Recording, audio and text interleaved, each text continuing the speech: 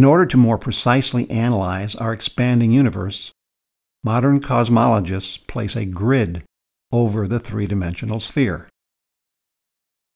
We treat the distance between two galaxies, r, as a constant.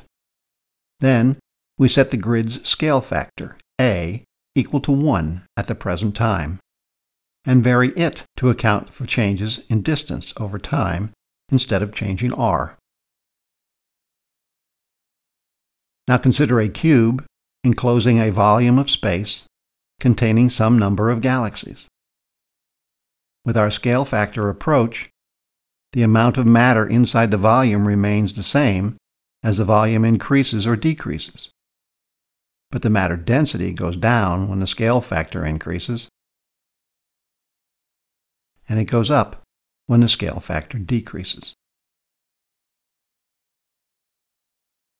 Sticking with Newton's model and incorporating the cosmic scale factor, we can rewrite the Friedmann equation. We see that the scale factor, A, is the only variable. In other words, the history of the universe comes down to the history of the scale factor.